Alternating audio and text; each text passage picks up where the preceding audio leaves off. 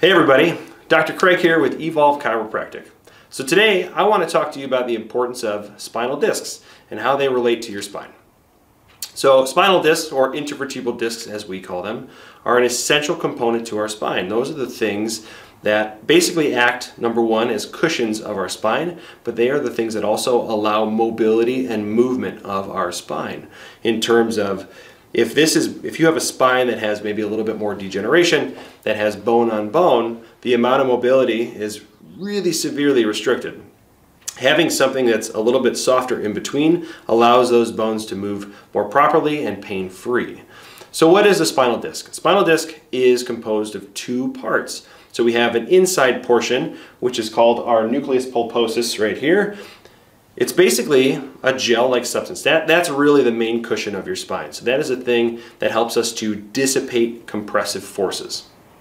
The other part of that, this brown part, is called your annulus fibrosus. That's an outer ligamentous structure that really helps to keep that nucleus pulposus contained. So make sure that, that that cushion doesn't necessarily go anywhere.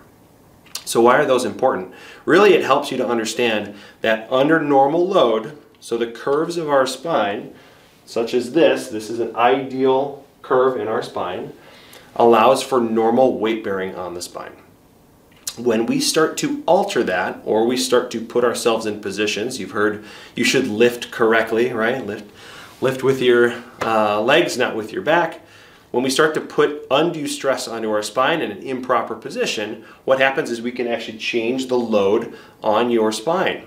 And so under normal compressive load, we should be able to compress. That this should be able to handle that. If we start to take this bone and start to change it into a different position, start to flatten out your spine one area, what happens is we're already starting in an improper position. And so think of this nucleus pulposus a little bit like a balloon. What happens is as we start to compress, if we're not compressing right in that middle, we're putting undue stress. So it's going to force that disc to potentially bulge out into a certain area. And if your spine is not in the proper position or there's an undue load on that spot on that disc, what can happen is that disc can actually start to push out and start to break through that annulus fibrosus. And that'll lead to things such as disc bulges, disc herniations, uh, which can then start to cause problems like compressed nerves, uh, slip disc, that type of stuff. So now that you understand a little bit of the role of what that spinal disc is, hopefully you understand the importance of posture and how it actually relates to these spinal discs. So if that's something that you're concerned about, something that you need to get checked, if you're somebody who also says, hey, my posture is just terrible, come on in, we'll take a look, we'll make sure things are looking the way they should. See you soon.